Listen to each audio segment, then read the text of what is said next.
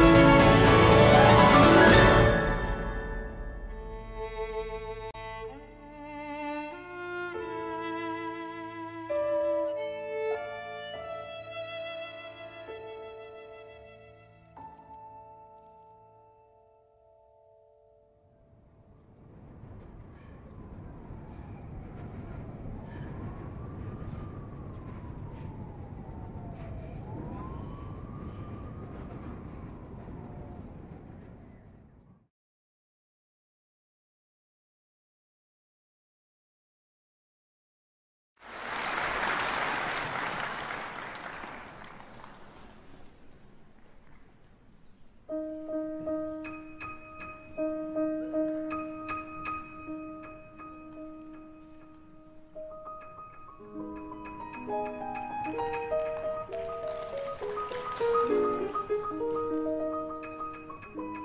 you